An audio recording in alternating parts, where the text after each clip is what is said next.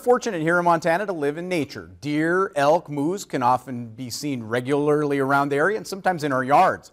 Sometimes other animals venture into our world, however. I recently sat down with Paradise Valley filmmaker Casey Anderson as he shared his story of just such an encounter. Here's a clip of our Face The State with Casey Anderson talking about his new show, The Mountain Lion and Me. And to be filming one of the most elusive animals on the planet and to tell that story. Hmm. And here's an animal that we don't know much about.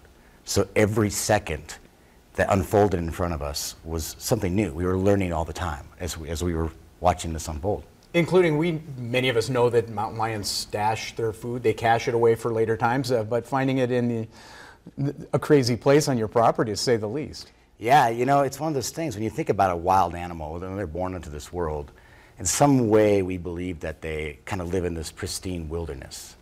But since the day that this cat was born, you know, there's cliffs, there's trees, there's streams, there's fences, there's roads, and there's this old ghost town, kind of an old homestead down the road, that she started to utilize to hunt and to cache her food. And this is something that she just does. She doesn't know that it's out of the ordinary. This is just what a mountain lion does in her mind, and this is this is her home.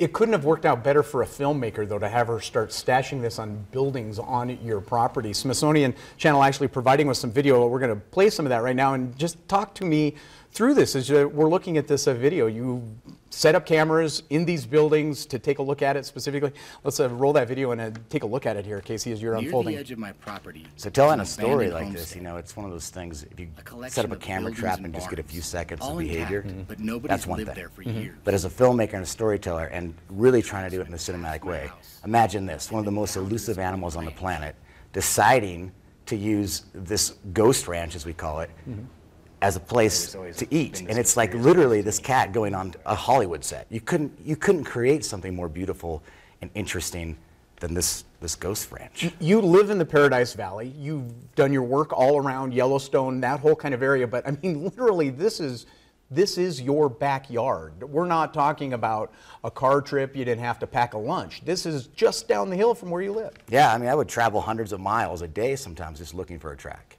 Mm -hmm. I'd walk out the door and there'd be a track literally on my front step, and that's where my day would begin. That's where many of these stories would begin every day.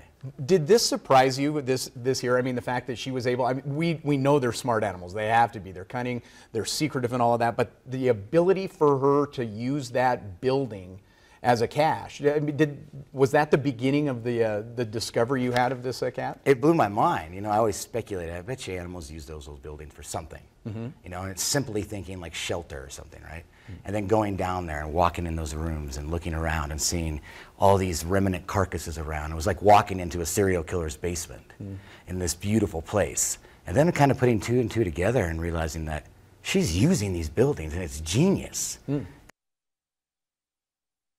By the way, you can catch The Mountain Lion and Me this Wednesday, 6 p.m. on the Smithsonian Channel. You can also watch our full interview with Casey Anderson. Uh, just head over to our websites. We're going to take a quick break, more headlines, and your forecast coming up in just two minutes.